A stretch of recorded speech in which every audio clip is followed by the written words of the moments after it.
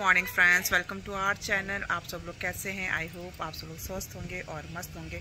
आप सब लोग को नवरात्र की बहुत बहुत शुभकामनाएँ और happy Navratra all of you my friends और आज कल था सप्तमी तो मैंने कल फास्ट रखा था और आज है अष्टमी। और वैसे तो हर बार हम सुबह ही जिमा देते थे कन्याओं को, मगर अभी जो हमारे पंडित जी हैं, उनसे हमने पूछा तो उन्होंने बोला कि दो बजे के बाद मुहूर्त है तो दो बजे के बाद मैं कन्याओं को जिमाऊँगी।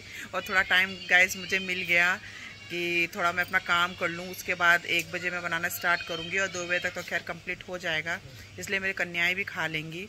तो बहुत ही अच्छा लग रहा है मुझे। और जैसा सुबह मतलब सुबह जो होता था, उसकी तो रौनक ही अलग थी। अब तो त्यौहार भी चेंज हो गए हैं। हर चीज़, रूल, रेगुलेशन सारा चेंज हो गया। पहले ऐसा नहीं होता था। पहले तो जो टाइम था, वो टाइम था। हर साल तो हम सुबह ही करते थे। मगर अभी पता नहीं क्या चीज़ ऐसा है कि अष्टमी और नवमी एक साथ है। तो सब लोग ये बोल रहे हैं कि आज अष्टमी है। अष्टमी दो बजे से लगेगा। दो बजे से कल सुबह के नौ बजे तक अष्टमी रहेगी। उसके बाद फिर नौमी स्टार्ट हो जाएगी। तो इसलिए अब जैसे जैसे पंडित जी बोलते हैं, वैसे वैसे हमें रूल्स फॉलो करने पड़ते हैं। दोस्तों, पहली नवरात्रि में मैं अपना ब्लॉग नहीं बना पाई, क्योंकि बहुत ही ज़्यादा बिज़ी शेड्यूल था और मुझे बिल्कुल भी टाइम नहीं मिल पाया। और सबसे ख़ास बात यह है कि जब पहला नवरात्रि स्टार्ट हुआ था, तब भी थर्सडे पड़ा था। और आज अष्टमी है, अष्टमी में भी आज थर्सडे पड़ा तो मतलब बहुत ही मतलब दिल को एक सुकून मिला कि मतलब बाबा के दिन से ही स्टार्ट किया और बाबा के दिन से ही मैं आज अष्टमी जिमा रही हूँ।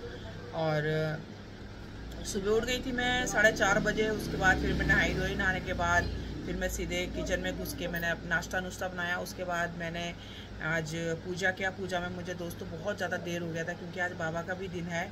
मैं अपने मंदिर में पूजा करने गई थी, पौने सात बजे और निकली मैं आठ बज के पाँच मिनट पे, यानी कि एक घंटा, एक घंटे से भी ज़्यादा मुझे आज अपने मंदिर में लग गया था, क्योंकि बाबा का भी स्नान वगैरह आज है, उनके भी पाठ वगैरह पढ़ने पड़ते हैं और माता की तो पूरी किताब मुझे आज ख़त्म करनी पड़ती है किसी भी कीमत में।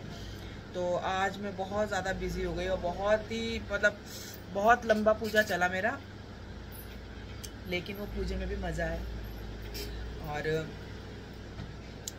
और माता, मैं आपको एक बात बताना चाहती हूँ, दोस्तों, पहले मुझे अखंड दिए से ना बहुत डर लगता था कि लोग बोलते थे कि अखंड दिया जलाने से पहले दस बार सोचना चाहिए, क्योंकि बीच में बुझ जाता है, वो अगर वो बुझ गया तो फिर अच्छा नहीं होता है। तो मेरी एक दिल में तमन्ना थी कि मैं अखंड दिया जलाऊँ। मगर मुझे डर भी लग, लगा रहता था कि लोग ऐसा सा बोलते हैं। फिर भी मैंने मतलब आज मुझे तीन चार साल हो गए अखंड दिया रखते हुए और मैं अखंड दिया जैसे रखती हूँ मैं तो मैं माता को उस दिन बोलती हूँ माता ये आपके नाम पे मैंने रख दिया है बस आप संभाल लेना आप देख लेना इस मतलब इस दिए की मतलब रक्षा करना। और वैसे ही हुआ। वैसे ही नौ दिन आठ दिन आज अष्टमी है। कैसे कटा मुझे नहीं पता। रात को भी मैं सिर्फ़ एक बार जब चेक करने उठती हूँ कि दिए में तेल की ज़रूरत तो नहीं है, ऐसे झाँक के देखती हूँ तो बिल्कुल बस माता की कृपा से बस दिया अपना, आराम से अपने धुन में बस जलते ही रहता है मतलब। और मतलब मुझे इतनी कठिनाई नहीं हुआ, नहीं तो मुझे बहुत डर लगता था कि मैं अखंड दिया कैसे रखूँ और मैं कैसे देखभाल करूँ। और मुझे कभी इधर उधर जाना भी पड़ता है। फिर भी मगर अब मुझे बहुत अच्छा लगता है कि माता देख देती हैं और मैं बता नहीं सकती कि माता में बहुत शक्ति है, बहुत ही ज़्यादा दिल से मानो ना तो ईश्वर है। ईश्वर तो हर जगह है। मेरे बाबा मतलब जो भी विश करो, जो भी विश मांगो, मेरे बाबा और माता पूरा ही कर देते हैं। तो मैं मैंने तो माता से हाथ जोड़ के सबके लिए बोला है कि सबकी मनोकामनाएँ पूरी पूरी करना माता इस नौ दिन में। नौ दिन जाते जाते सबको आशीर्वाद देना। दिन, दुनी, रात चौकनी हो, सबके घरों में और सबके घर में खुशहाली आए खुशहाली आए। जो भी दुख हो, संकट हो, उसको हर देना। वो संकट को काट देना आप। और एक बजे बनाने जाऊँगी मैं पूरा पूरी हलवा वगैरह बनेगा। और हाँ दोस्तों मैं ना चने में आलू डाल के बनाती हूँ तो मेरी कन्याओं को बहुत अच्छा लगता है। बोलते हैं कि आंटी सब जगह तो आ, क्या बोलते हैं सूखे चने मिलते हैं और आपके यहाँ जो है आलू वाला चना मिलता है ना वो हमें इतना पसंद आता है इतना पसंद आता है कि मैं क्या बताऊँ। मतलब बहुत अच्छा लगता है मुझे जब कन्याएँ ऐसे बोलती हैं तो वो एक दिन पहले से आके स्टार्ट करने लगी कि आंटी आपके यहाँ कब है कब है कब है? हम मॉर्निंग में आएँगे बेटा मॉर्निंग है मत आना। क्योंकि अब थोड़ा टाइम चेंज हो गया है। कोई 12 बजे के बाद जिमा रहा है कोई दो बजे के बाद जिमा रहा है। हमारे पंडित जी ने कहा कि दो बजे के बाद स्टार्ट मतलब दो बजे स्टार्ट हो जाएगा अष्टमी। तो मैं दो बजे तक जिमाने की पूरी पूरी कोशिश करूँगी। और मिलती हूँ मैं आपको आगे। हेलो अपना नाम बता दो।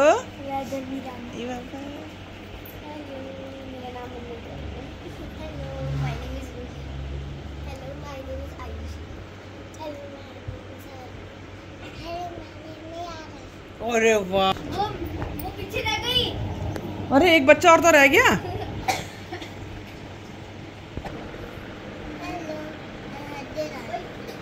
ज़ोर से। हेलो मेरा बहुत अच्छा।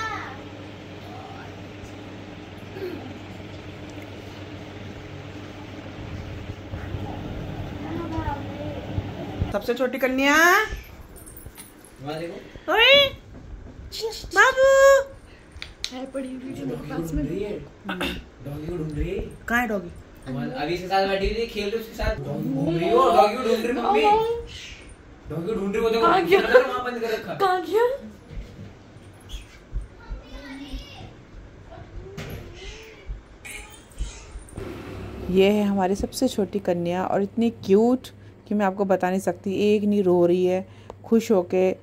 आराम से इंजॉय कर रही है, सारे बच्चों को देख रही है, इसके भाई ने इसे गोदी ले रखी है और बहुत ही खुश है ये बच्चा।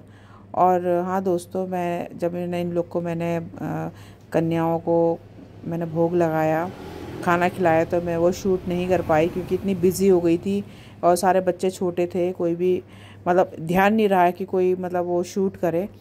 इसलिए बच्चों ने अच्छे से खाया और बहुत ही इन्जॉय किया बच्चों ने खाने को।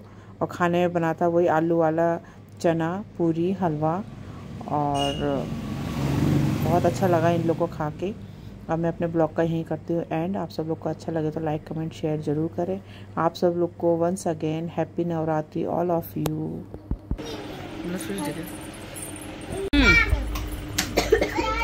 ओए ओए ओए उसमें हाथ नहीं मारना।